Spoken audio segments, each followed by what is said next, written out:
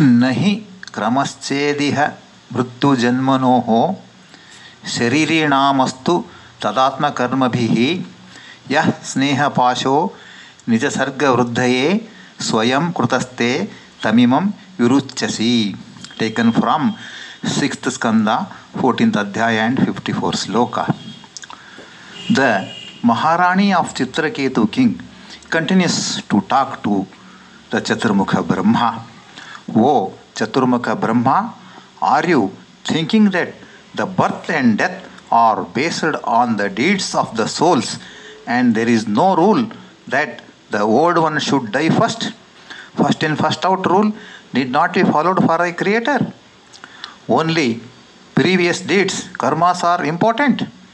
The bond of affection towards the children from the parents is very essential for the life for the growth affection bondage among the families.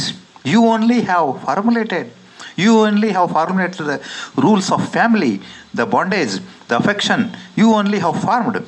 Because of you only the family life is going on in the world. You are so referred as prajapati the father of the universe. Brahma is creator vishnu is uh, maintainer and shiva is destroyer.